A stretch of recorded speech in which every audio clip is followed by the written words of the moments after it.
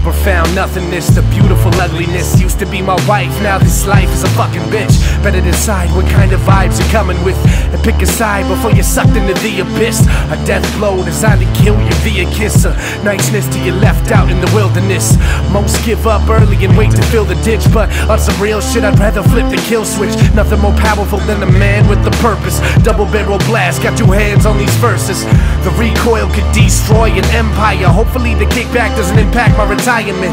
The flying fist of the mob wishes to try your wits. Throwing violent fists trying to take over Leviathans. A higher wish is what I seek, but my eyes weep from futility. Like, why am I even trying this? A dire state to lie awake in a higher place, only to be more aware of the pace that you're dying with.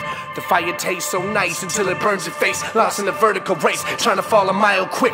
A while passed before I really looked at the hourglass. Now the last minutes I have left will get devoured fast. I'm out in a raft, trapped inside a cage of flesh. You can see me releasing steam every time I take a breath. That's the problem. I feel like a savior. I breathe like a dragon. They can't handle the flavor, can't handle my baggage. I can't change my behavior, can't change my habits. I won't do them the favor.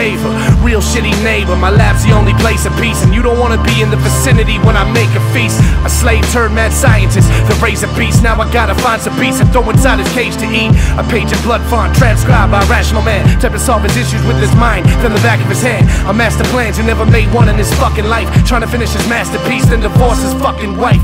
Cause that's fucking life. Yeah. That's fucking life. Suicidal till he gets his due. Yeah, that's fucking life. Yeah, that's fucking life.